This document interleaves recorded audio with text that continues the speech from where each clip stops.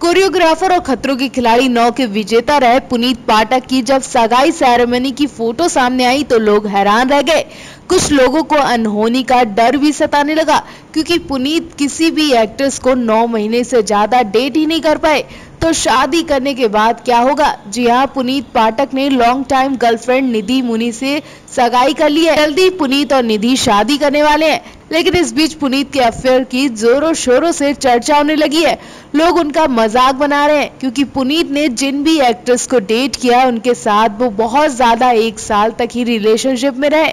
उसके बाद उनका ब्रेकअप हो जाता था। पुनीत की पहली गर्लफ्रेंड शक्ति मोहन थी, जिन्होंने पुनीत के साथ डांस इंडिया डांस टू में काम किया था, और वो उस शो की विनर भी बनी थी। इस शो से पुनीत और शक्ति एक दूसरे को डेट करने लगे थे, लेकिन कुछ ही महीनों में इनका ब्रेकअप हो गया।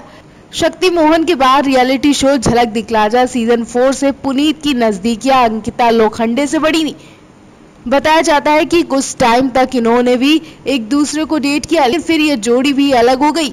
एक डांस रियलिटी शो में पुनीत ने मोनी रॉय के साथ डांस किया।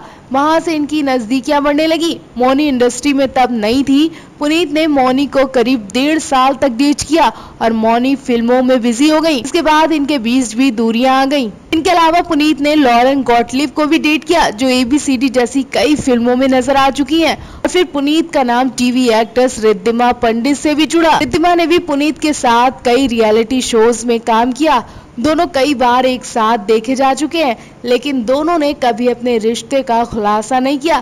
तो आपको पुनीत के साथ कौन सी एक्ट्रेस सबसे ज़्यादा पसंद आई?